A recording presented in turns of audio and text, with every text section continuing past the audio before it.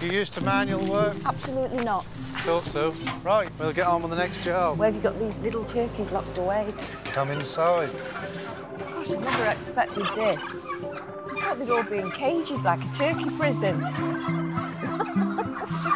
This is unbelievable. This is their back garden. Massive. You need to tell more people about this. This is what free range is all about. They can have the berries off the trees, anything they forage. What's with the apples? Well, turkeys just love them. Just extra enrichment. Look at them so happy. We better put these birds to bed. Come on, Mr. Turkey. Time for bed.